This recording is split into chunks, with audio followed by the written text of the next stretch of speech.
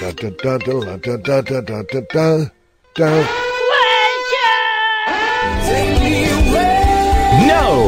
one is going to take you anywhere. Your girlfriend is calling, yeah, cause she wants to talk.